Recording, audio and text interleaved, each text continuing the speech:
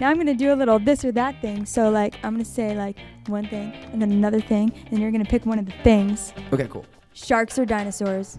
Sharks. If I had to like fight one, I would I would not want to fight a shark because you feel so helpless in water. PB and J or BLT?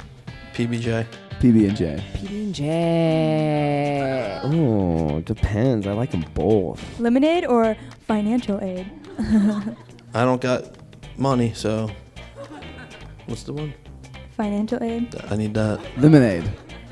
Because you're just so filthy rich. Because you have to pay back financial aid. True. Yeah. True. Wow, that was a really intelligent response.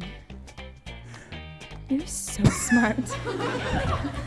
I'll do financial aid.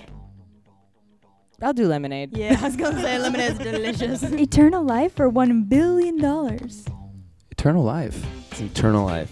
One billion dollars. I can just save up a billion dollars if I had endless life.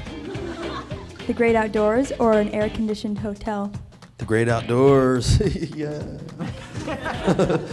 With that one, I feel like you have to say the great outdoors, or you sound like a loser. But I choose air-conditioned hotel. Well, it depends what part of the great outdoors and what's happening there, as opposed to what's happening at the hotel. oh yeah. Next.